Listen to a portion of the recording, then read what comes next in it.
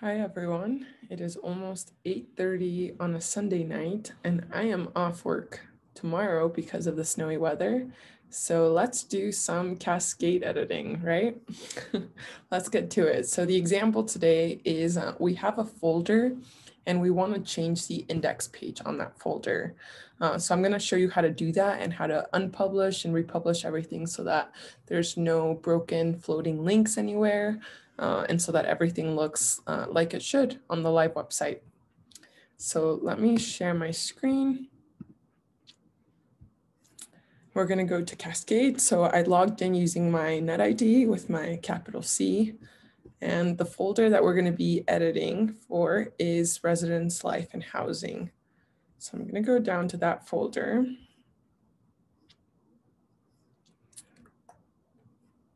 Of course, I went too far. um, and I believe that the folder we want to edit is this frequently asked questions. So it's this resources page that we want to make the new index, and then we want to make frequently asked questions um, a page inside of that folder. So what that means to me is that frequently asked questions should be this index page so that when you click on that, you should see yep, that accordion. Um, so the first step for me is going to be to unpublish this. You can unpublish as you go, but this is just to cover my bases and make sure that everything is unpublished before I move things around. Uh, what happens if you don't unpublish content and you just move things around is that someone could still stumble upon the URLs in search engines. So this URL of residence, life, and housing frequently asked questions index could still exist um, even if it might not exist in Cascade. Uh, so that's why it's important to unpublish. So I'm going to go ahead and do that. Um, again, you can do this as you go along, but it's just a safety precaution that I like to take. And I'm going to unpublish from production and staging. Um, if you do have any more questions as far as why it's important to unpublish content or how that works when you're deleting and moving things around, please send me a message and we can talk in more detail about it. Probably might make more sense when it's not Sunday at 8.30 at night. uh, so I'm gonna go ahead and unpublish that. You're gonna get this unpublished uh, message below. So then what I'm gonna do is I'm gonna click this greater than symbol to be inside of the folder. And I'm gonna start renaming. So all of this has been unpublished. This index page, I'm gonna rename by right clicking. And I'm gonna make this frequently asked questions.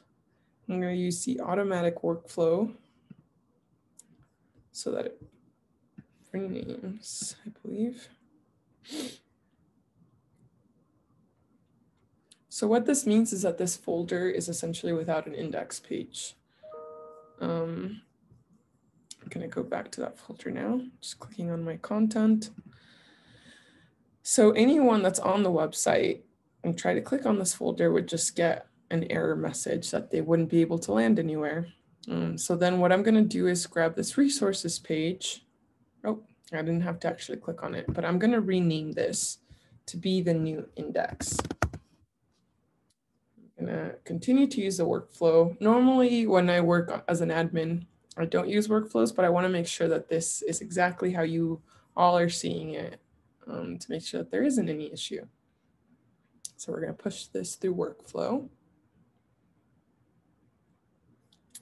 I'm gonna click on that index page again. So we have an index page, that's the old resources page, a frequently asked questions, which was the previous index, and then family resources. The last step is to make sure that this frequently asked questions is this resources page. Again, we always want to make sure that this URL and this folder matches, everything matches as far as names. So I'm going to right click on the folder and click rename. And I'm going to make this resources and I'm going to choose production and staging. And again, this part is checked off, unpublished content. And this is making sure that it takes off this URL from anywhere so that people can't land on this content, even though it's no longer in Cascade. So never uncheck to unpublish content. When in doubt, just unpublish um, resources. So I'm going to rename. Now, if I were to go on the live website, everything would still look the same as I had. It would just be a, a lot of 404 errors. So what I need to do now, normally if I just change things inside of this folder, I would need to only publish this folder.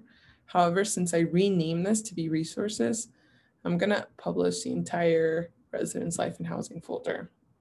So I'm gonna right click and click publish uh, in production and staging. So once it does that, I need to refresh as well so that you see that this actually says resources. Let's see that publish message. Hmm, I'm going to refresh regardless, just so that we see that folder with the right name. Oh, and I missed a step. I missed a step, everyone. So sorry. So I renamed the folder. This is actually a good thing. I renamed the folder as far as URL structure. It says resources, but I forgot to edit the display name. So I'm gonna click edit on the folder. And this is the part that I need to edit. So display names what shows, um, it, this is display names what appears in the left-hand navigation. Titles what appears at the top of the URL. So you have usually CSU Pueblo, you have uh, CSU Pueblo um, page name or folder name and then page name. Um, so let me get out of Cascade to try and show you. This, for example, I guess it's the catalog. Let me just go to a random page. This should have CSU Pueblo art, CSU Pueblo. Uh, with the way that we renamed the folder, you'll see resources as the folder name at the top as well. More information than you probably wanted to know. so I'm gonna go ahead and publish, republish this residence life and housing folder again. And the reason I'm doing that uh, once more is so that that updated folder name appears in all of the left-hand navigation. Otherwise, you might just see it when you go to this URL, but you might not see it everywhere else on the residence life and housing site. Um, so we, we got that publish notification. One little thing that I like to do just to make sure everything looks correctly, I click on more and then I go to live at the bottom here. Fun fact that I didn't realize this was a feature until we went remote. In COVID, I didn't know you could just click live and open the page on a, the live page on a new tab. But now I see that I have resources. Um, the resources is the index page. Um, if I click everywhere else, I can still find, um, there's no 404 errors. I still find the pages just fine. And if I go anywhere else on the residence life and housing website, mm, Maybe our publish didn't go through. Still says frequently asked questions. Why? Might not have published already. Hmm, let's see if it published. But essentially we did that last publish to make sure this didn't happen. No, looks like it didn't go through. So the error that I'm seeing is that this still says frequently asked questions versus resources. So what I'm gonna do is I'm gonna make sure everything looks okay inside of Cascade. I'm gonna click on somewhere else inside of Cascade to make sure it says resources and not frequently asked questions. Yeah, it does say resources. So this should too. but we're just gonna republish one more time and see if that's the fix. Um, sorry, this is a longer video, but I'm glad we're running through issues because everyone knows it looks perfect on a video, but it might not be perfect when you're actually implementing this yourselves without any support. So let's make sure that this did go through. I'm waiting for that little notification that says publish, your folder has been published.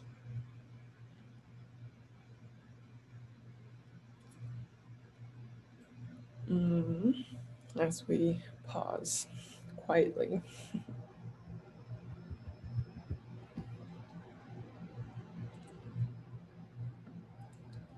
So I don't know if you guys all have this publish queue feature, but this tells me how far something is from being published.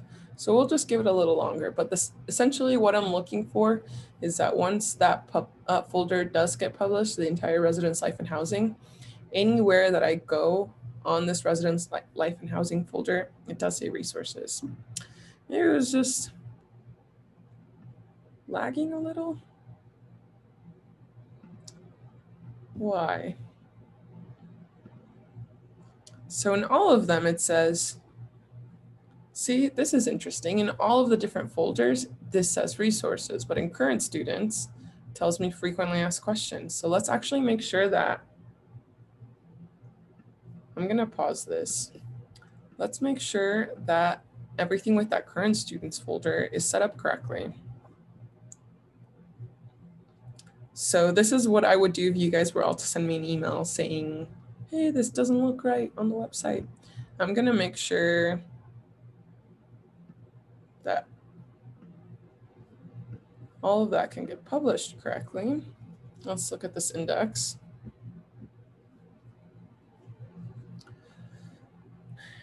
This index tells me resources too, so maybe it's just, just this folder that I need to publish current students, instead of publishing the entire residence life and housing folder, since it's only current students that's giving me that issue, let's see if that solves it. And it gives us a little bit less of a published amount since it's only the select pages versus everything in, under here, everything under image.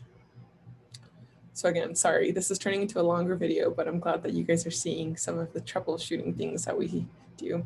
Very basic stuff. Um, so yep, now we have current students and we see resources here. So um, when in doubt, I guess just try and just test around, I guess, the different folders inside of that root folder that you're editing to make sure everything looks correctly and try and find maybe the single source where something might not have published correctly. Um, but we're always here for you guys as a resource. So feel free to send any questions to myself or Jennifer through the WebDev account um, because there are the little quirks inside of Cascade uh, that we're happy to work with you guys through, just since we see them all the time. And for myself, having worked in this position two years, you see that I'm still experiencing them. So don't be shy to ask. Um, okay, I will leave you all. Uh, thank you for your time and we will talk soon. Bye.